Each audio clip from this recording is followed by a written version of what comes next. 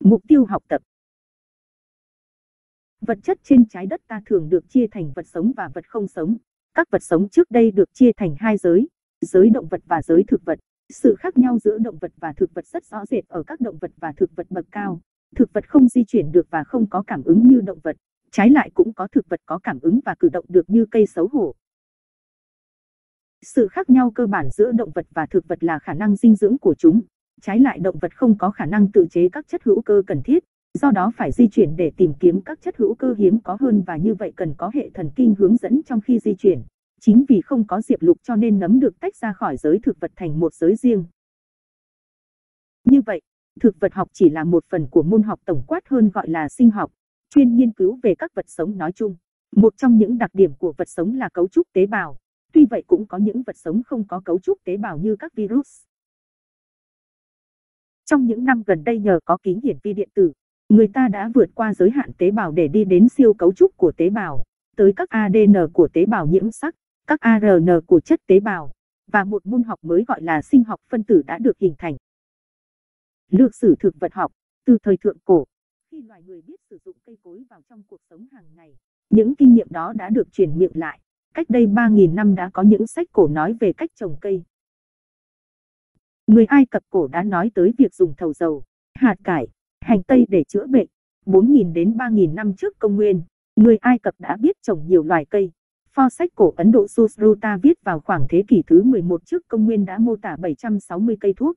460 đến 377 năm trước công nguyên, Hippocrates một thầy thuốc có danh tiếng của Hy Lạp cổ đã mô tả 236 cây thuốc. 384 đến 322 năm trước công nguyên, ông Aristotle đã viết những cuốn sách thực vật học đầu tiên bằng tiếng Hy Lạp.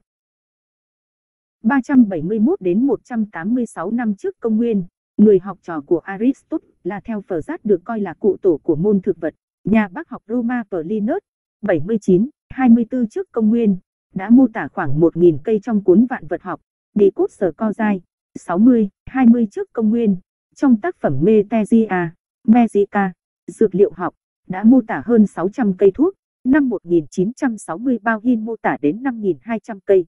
Đến thế kỷ thứ 17 nhờ sự phát minh ra kính hiển vi nhà vật lý học Anh, Hooke đã tìm thấy tế bào lần đầu tiên năm 1665. Năm 1672, Ru đã sáng lập ra môn giải phẫu thực vật cùng với Manpiri tác giả cuốn Anatomia Plantarum, 1675. Năm 1680 Leeuwenhoek đã nghiên cứu ra các vi sinh vật, dây, 1628, 1705, đã mô tả tới 18.000 loài thực vật và đặt ra cách phân biệt cây hai lá mầm và cây một lá mầm. Nhà tự nhiên học người Thụy Điển Linz, 1708, 1778, đã làm cho ngành phân loại và hình thái học thực vật phát triển nhanh chóng. Ở nước ta, từ thời đại của các vua hùng, 287, 257 trước công nguyên, dân tộc ta đã xây dựng một nền y học cổ truyền để giải quyết bệnh tật. Đời thuộc An Dương Vương, lương y thôi Vĩ đã biết châm cứu để chữa bệnh.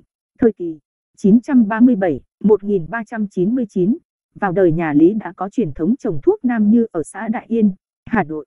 Đời nhà Trần, Thái Y Viện đã tổ chức đi sưu tầm thuốc ở núi Yên Tử, Đồng Triều, Quảng Ninh. Phạm Ngũ Lão xây dựng vườn thuốc Vạn Yên và gây rừng thuốc Dược Sơn ở Phả Lại, huyện Chí Linh. Năm 1417, Tuệ Tĩnh viết xong cuốn Nam Dược Thần Hiệu trong đó có nói tới 579, 630 loài cây làm thuốc. Năm 1429 thời kỳ Lê Thái Tổ, Phan Phủ Tiên xuất bản cuốn bản thảo thực vật toàn yếu. Đến đầu thế kỷ 16, Lê Quý Đôn trong bộ vận đài loại ngữ đã sơ bộ phân loại thực vật. Năm 1772, Hải Thượng Lãn Ông, 1721, 1792, cho xuất bản bộ sách Hải Thượng Y Tông Tâm Lĩnh gồm 66 quyển nói về y lý và cây thuốc. Năm 1858, Trần Nguyệt Phương cho xuất bản cuốn Nam Bang Thảo Mộc trong đó tác giả có kể 100 cây thuốc. Các tác giả nước ngoài cũng viết nhiều về dược liệu Việt Nam. Năm 1790, Lurero xuất bản cuốn Flora Cochin Chinensis trong đó, ông mô tả 697 loài cây. Từ 1907 đến 1943, bộ Flora Generals CI Indochine, thực vật tổng quát Đông Dương. Những cây thuốc và vị thuốc Việt Nam của Đỗ Tất Lợi, 1982, tóm tắt các đặc điểm của họ cây thuốc nam của Vũ Văn Chuyên, 1976, thuốc nam và châm cứu của Viện Y học dân tộc, 1968. Thuốc nam thường dùng của Đỗ Tất Lợi, 1968. Danh mục cây thuốc miền Bắc Việt Nam của Viện Dược liệu, 1970. Dược liệu Việt Nam của Bộ Y tế, 1978.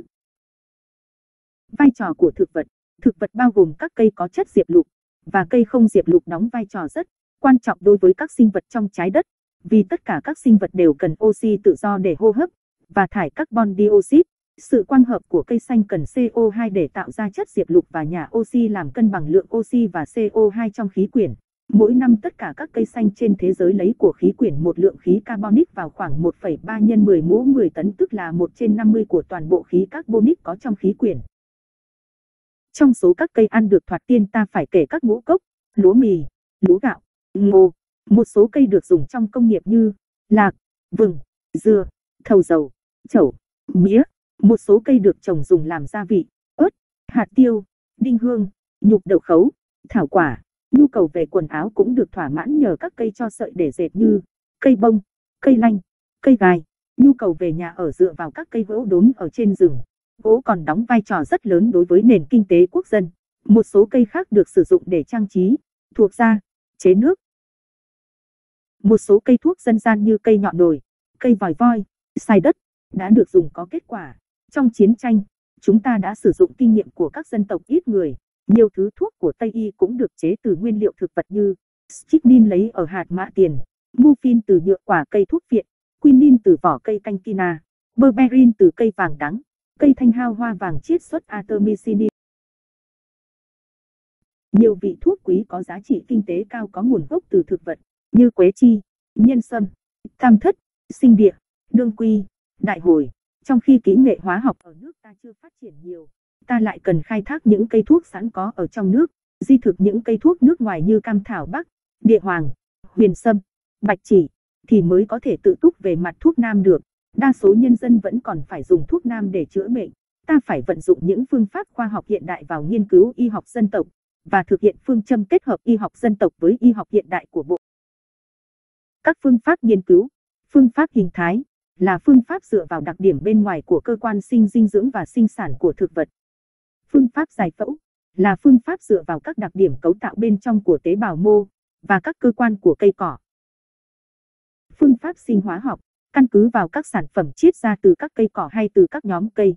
Phương pháp phôi sinh học, sử dụng các đặc điểm phát triển của phôi, có thể xác định được nguồn gốc và quan hệ họ hàng của cây cỏ. Phương pháp cổ thực vật học, dựa vào các mẫu vật hóa thạch, có thể xác định mối quan hệ họ hàng và nguồn gốc phát triển của cây cỏ. Phương pháp địa lý học, dựa vào sự phân bố của các quần thể và quần xã thực vật để xác định mối quan hệ họ hàng giữa các loài. Phương pháp phấn hoa học, dựa vào đặc điểm cấu tạo phấn hoa của cây cỏ. Phấn hoa thường bền với các điều kiện biến đổi của môi trường.